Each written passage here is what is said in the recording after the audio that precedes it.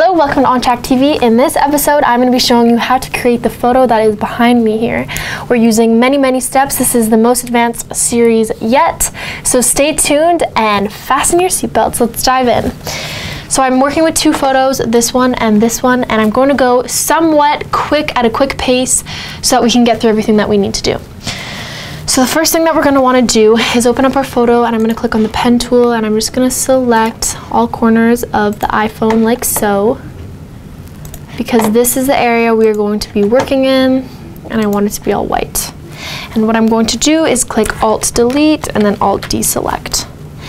Now what I'm going to do is add an effect onto this. I'm going to click Effects. We're going to click on Inner Shadow and I'm going to make this at 90 degrees. I'm going to put this at normal. We're going to bring this to about a zero.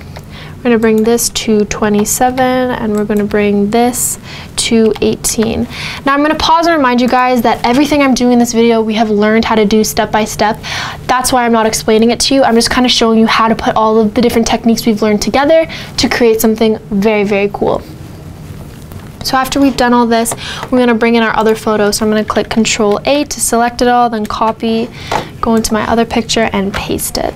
I'm gonna free transform this by clicking Alt T. We're gonna hold down Shift while we make it a little bit bigger. And the key here is to cover the entire surface of the iPhone in blue. So I'm gonna make, need to make this much, much larger bring her up, don't want to cut her head off, but as you can see, both corners are reached and covered in blue.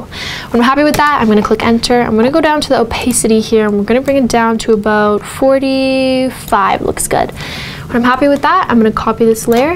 Now I have two. I'm going to turn this layer off, and I'm going to select onto this layer, and I'm going to click Control Alt G and that deletes everything that is around this.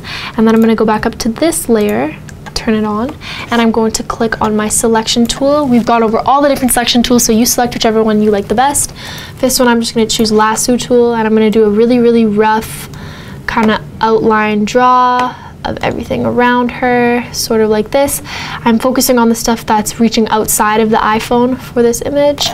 Release, I'm then going to click on Refine Edge, and I'm going to turn all of these settings up a little tiny bit and kind of just draw over it again. This makes um, the drawing that I've made a little bit more perfect, kind of removes all the other stuff. That's actually worked out really, really well.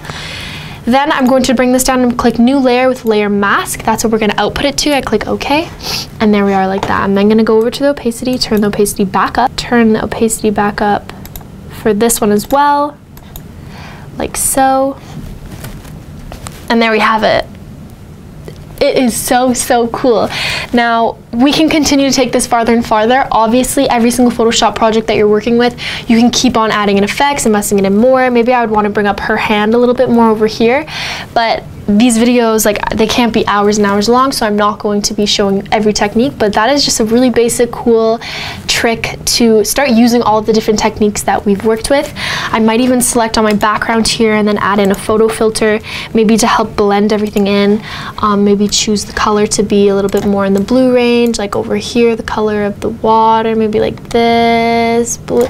Or I could use my color and select on it Let's just select maybe a blue like this, click OK, and then bring it up. And as you can see, everything's getting a little bit more blue.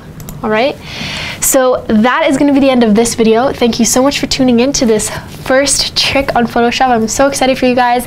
Remember to visit www.ontracktv for more videos on Photoshop CS6. We have all the different levels from beginner to advanced. So thanks so much for tuning in, and I'll see you in the next one.